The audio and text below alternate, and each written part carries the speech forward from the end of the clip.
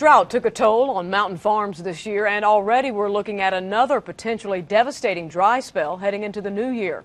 News 13's Ashley Searles is in the Rutherford News Center. And Ashley, if it's too dry already, is that an early sign that it's going to be a tough year for farmers?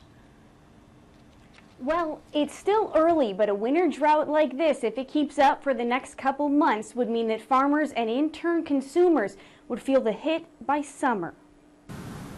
I think the sad thing is it could affect the people more, could affect the customers more than it'll affect us. You know it's serious when the farmer is worried about the consumer.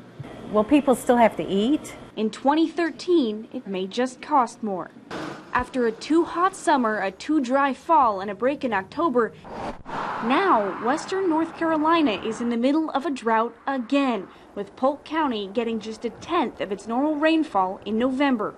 We are glued to the weather station. Lots of goodies. I know. Rosa Panchyshyn runs Achin' Back Acres Farm and works at the Mill Spring Food Co-op. Well, we're trying to hold the prices, um, but I can't predict. It may have to go up. Less rain now mainly threatens meat prices. If winter grass doesn't grow, farmers need to buy hay, upping the overhead and creating a price bump you'd see by summer. All that stress from the drought, stress from now, stress on a redrought, we haven't gotten our regrowth. Right now, it's early enough in the winter that it could still rain enough for crops planted in the spring to be okay, but it's getting close.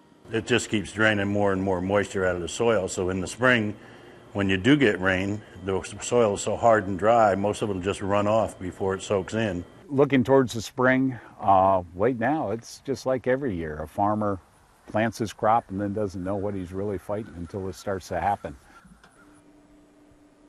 Farmers today told me it's been a deceiving fall, a lot of cloudy days, but never rain. This month and the weeks leading into January are going to be pivotal. Live in the Rutherford News Center, Ashley Searles, News 13.